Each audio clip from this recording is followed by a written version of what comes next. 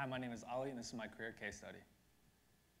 Ever since I started to produce music, I've had one job I've dreamt of doing full time, and this is being a mainstream music producer. Music producers can be very flexible and play almost any main role during the song creation process, such as songwriting, engineering, and composing. My first career profile is Forensic Audio. Their job is to analyze and improve the quality of audio recordings so it can be best suited when used as evidence for cases.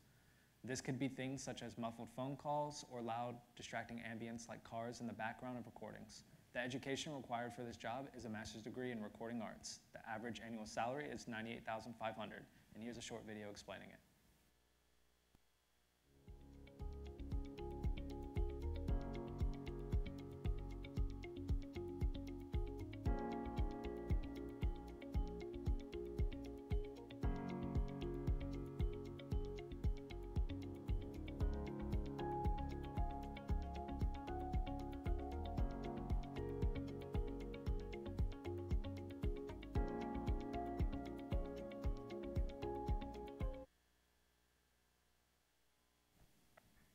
Right, my second career profile is vocal tuner. The job of a vocal tuner isn't to mix an artist's vocals, but to tune them with many different auto-tune programs such as Waves, Antares, and Melodyne.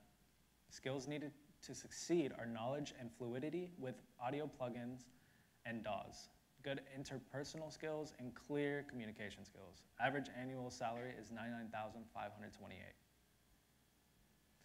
My first career interview is Lane MacArthur. Lane MacArthur has been an audio forensic scientist for over 26 years. He's worked with high-profile cases such as the murder of Suzanne Tamman and the Piers Morgan fake army photo case.